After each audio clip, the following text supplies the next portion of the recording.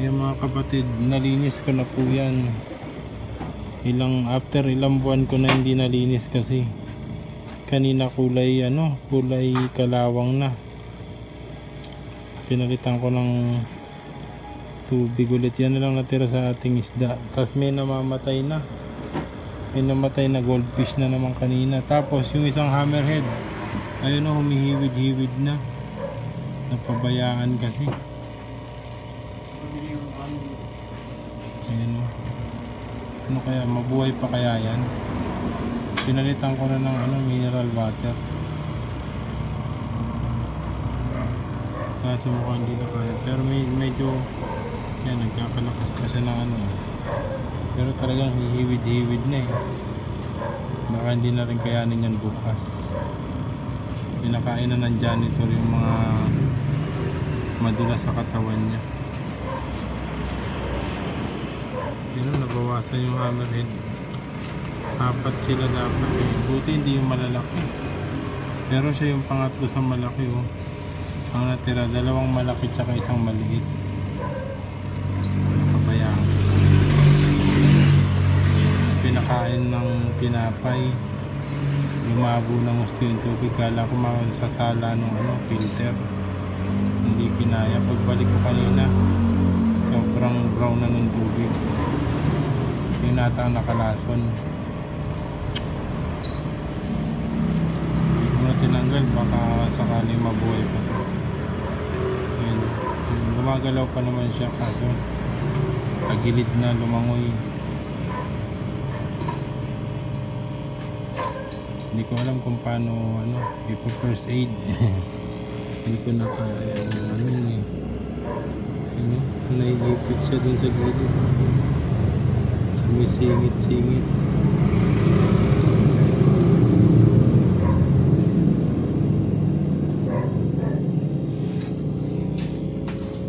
Ano gusto na niya dun sa gilid.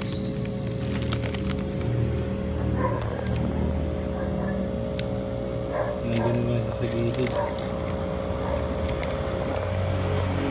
Ayan ako. Pero gumagalaw pa.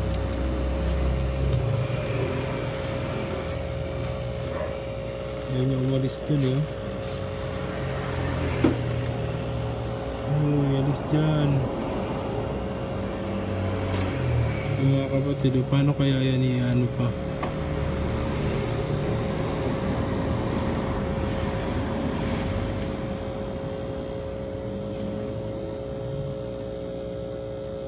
Parang kinakausap ng isa.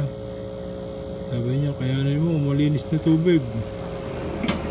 Konting ano na lang, langoy-langoy na lang. Hindi ko alam kung anong gagawin dyan.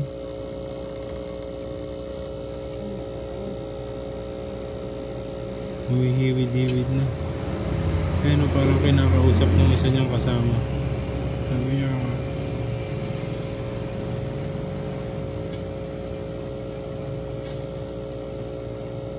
Ayaw nila umalis dun.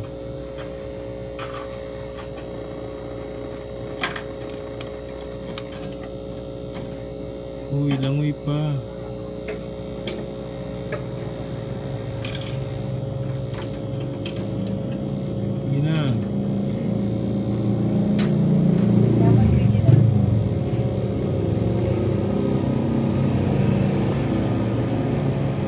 Doon sa may pinaglalagyan ko ng ano. Filter.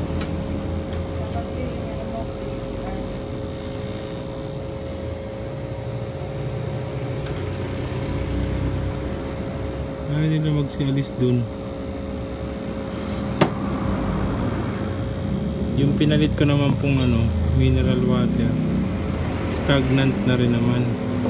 Kasi sinali na lang din.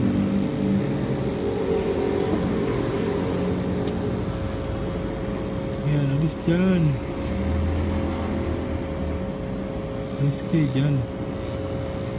Umalis.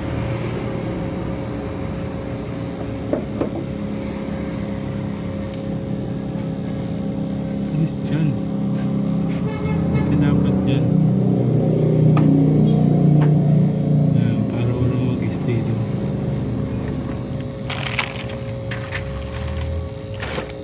may ipit kayo dyan eh.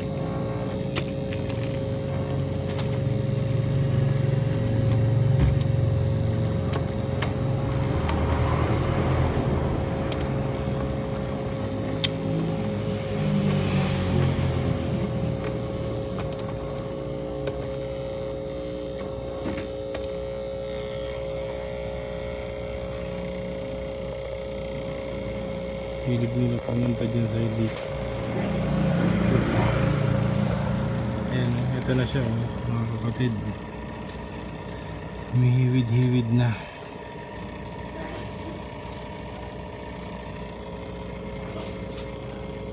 Yung isa talagang umiilalim, baka mamatay din yan.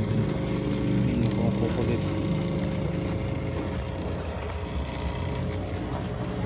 Napabayaan na medyo napabayaan. Bebe? Yung ano?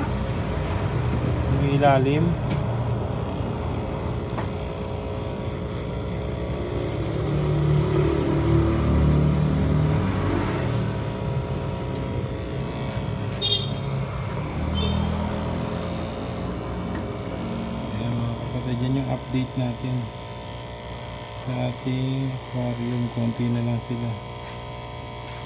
Please like, share, and subscribe to my next channel. Comment na rin po sa section kung paano gagawin kapag may ganyan yung pangyayari para alam din ng ibang mga kasama natin na nag-iisda.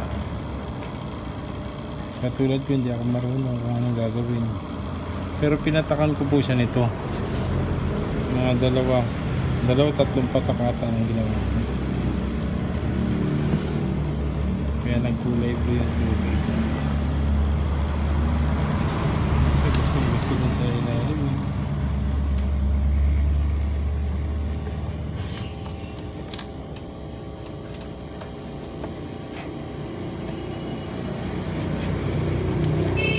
Naayos naman eh. Bumubunto pa rin kayo dyan.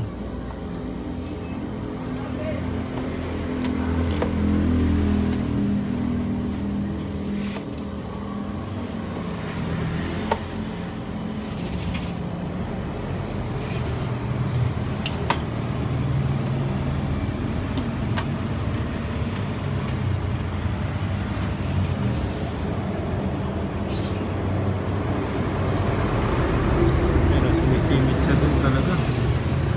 Dun sa?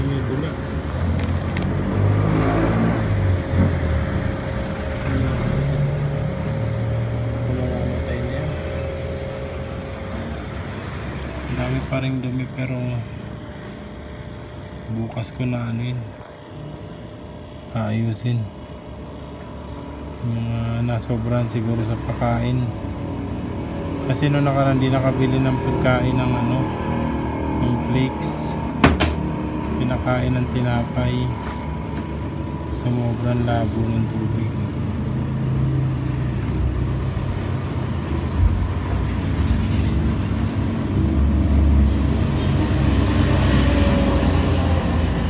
Sana makarecover bukas.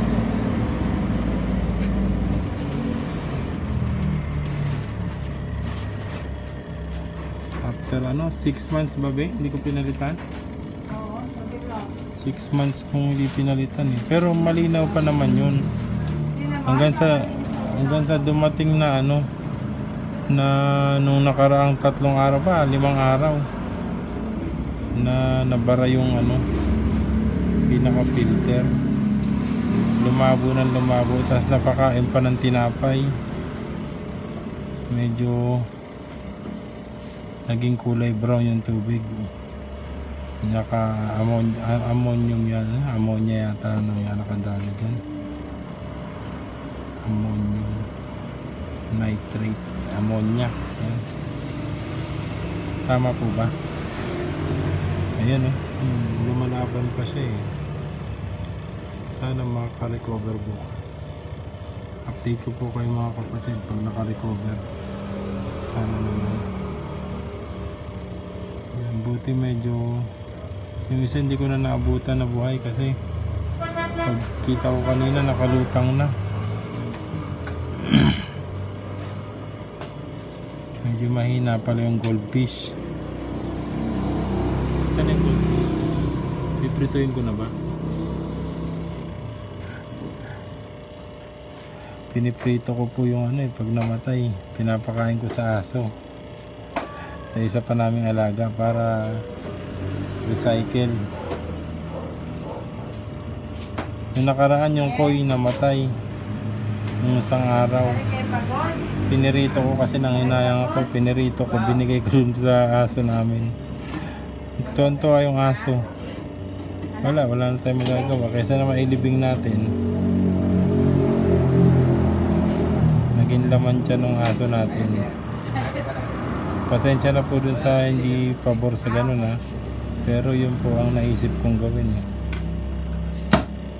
Ah, Okay po, sige na hanggang sa susunod hanggang sa susunod na kabanata. Please like, share, and subscribe to my nice channel. Comment na lang din sa section below para malaman din po ng iba nating kasamahan na nag-iisda. Ako mukhang damay-damay na yata. Sana bukas buhay pa yung mga yan. Mag-update po ako bukas.